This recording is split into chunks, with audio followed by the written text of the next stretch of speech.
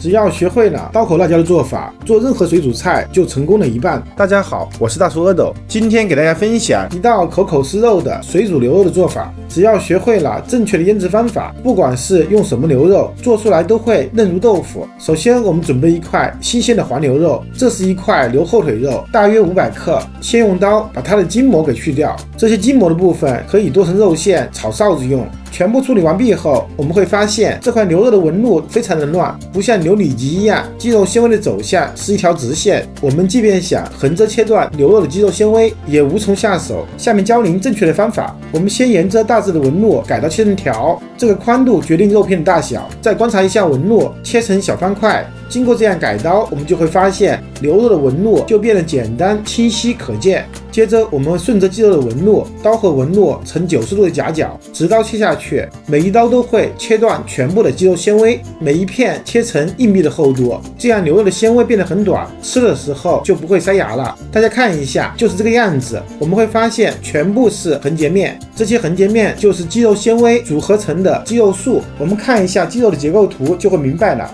顺便多说一句，这些肌肉纤维的含水量高达百分之七十，在没有熟的情况下，无论我们怎么挤，都挤不出里面的水分，只能挤出一些血水。但是煮熟后，蛋白质会变性，让这些肌肉纤维锁不住水分，故而会脱水、变老、变柴。所以我们在腌制肉片的时候，一定要想办法锁住它的水分。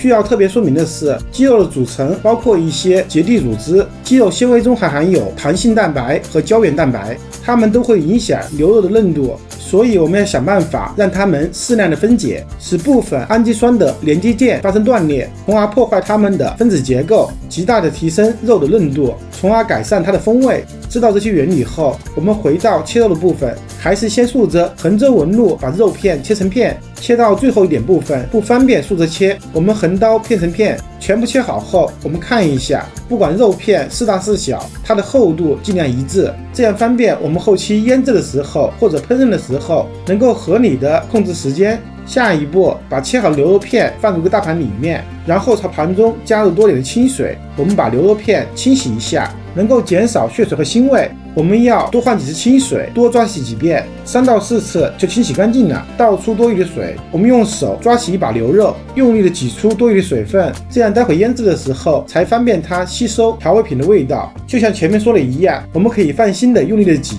不会影响到肌肉纤维的含水量。挤干水分的牛肉片，我们重新放入大盘里面。要想嫩化牛肉，我们需要准备一份让牛肉嫩化的秘密武器。准备一块去皮的姜片二十克，把它从中间对半切开。像我这样，一只手把生姜按住，另外一只手拿起刀，用刀的顶部将生姜慢慢的拍碎，从而形成姜蓉。然后准备一个碗，用手用力的把姜蓉挤出姜汁。我们只知道生姜有去腥增香的作用，却很少人知道它是一种纯天然无添加的嫩肉剂。但是一定要注意使用方法。这是一篇学术论文，出自黑龙江八一农垦大学食品学院，标题为《生姜汁嫩化牛肉方法的研究》。经过研究表明，生姜汁对牛肉嫩化效果良好。生姜汁的最佳浓度为百分之五，缓冲液 pH 值为八点零，最佳处理温度为四十度，处理时间为六十分钟。我同时查阅了国外的相关论文，也得到了同样的结果。五百克牛肉用五克姜汁，一个矿泉水瓶盖就是五克，把它倒入九十五克的清水里面，搅拌均匀就可以腌肉了。我们潮装牛肉的盘中加入点盐，大约五克，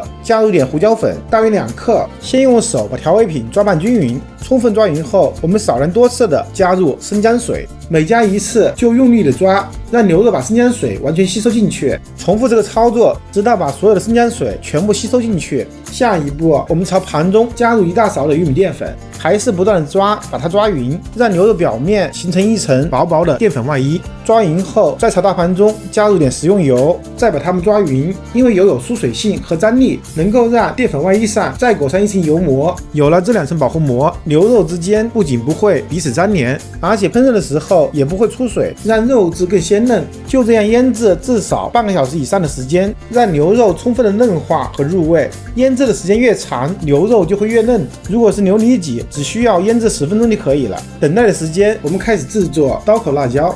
准备一个大碗，加入花椒五克，再加入干辣椒段六克。我这里只用了一种干辣椒，但是我们酒店会使用三种干辣椒，分别是二荆条、灯笼椒和七星椒。二荆条微辣，香味十足；灯笼椒也是微辣，香味十足。它们两种的香味却不尽相同，有互补性。而七星椒香味和辣味都很足，大家可以根据实际情况调整七星椒的用量，从而控制辣度。我们把它们快速的清洗一下，洗去浮尘，然后倒出来沥水备用。准备一口无水无油干净的锅，加入一点点的菜籽油，开小火加热，油微微热，倒入全部沥干水分的干辣椒和花椒，全程用小火，注意别炒糊了。我们要把它们炒干、炒香、炒酥脆，一直炒到它们全部变色，变得酥脆，就关火把它们倒出来，放在案板上，用刀口把它们砸碎。直接剁的话会到处飞溅。我们炸的时候香味真的很浓，又香又麻，让人食欲大增。最终我们要炸成普通辣椒面的粗细就可以了。这也就是刀口辣椒名字的由来。全部剁好后放入一个碗中备用。至于配菜可以自由搭配。准备一碗豆芽，准备一些清洗干净的油麦菜。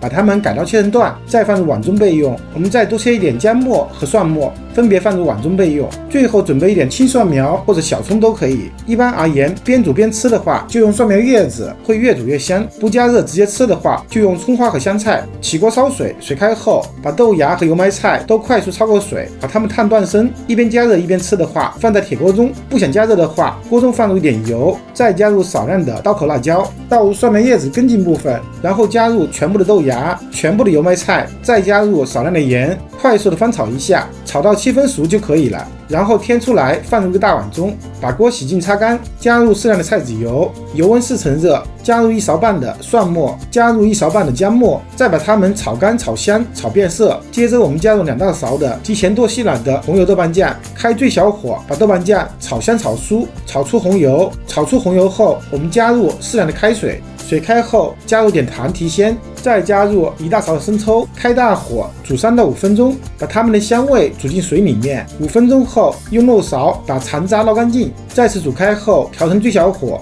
让汤汁保持微微沸腾的样子。然后我们依次下入肉片，每次下肉片的地方错开一下。下锅之后，我们不要动它，让它表面的淀粉可以发生糊化反应。为了防止出现脱芡，我们一定要控制好水温，绝对不能低于八十五度。低于这个温度，淀粉不会糊化，反而会溶解在水中。最明显的结果，汤就会变得浑浊。全部下锅后，就可以开大火再煮两分钟左右的时间，同时可以用勺子拨动一下，让它们受热均匀。嫩化过的牛肉很难煮老。全部煮好后，把肉片铺在蔬菜上，锅中的汤汁开大火收一下，加入点胡椒粉，加入点水淀粉，让汤汁变得略微浓稠，再倒入大碗中，朝肉片中间加上烧烤辣椒、蒜末、葱花和白芝麻，分三次浇上滚烫的热油，一道麻辣鲜香的水煮牛肉就完成了。我是大厨阿斗，感谢您的观看。如果您也喜欢我的视频，请您关注、点赞、收藏、转发给更多的人。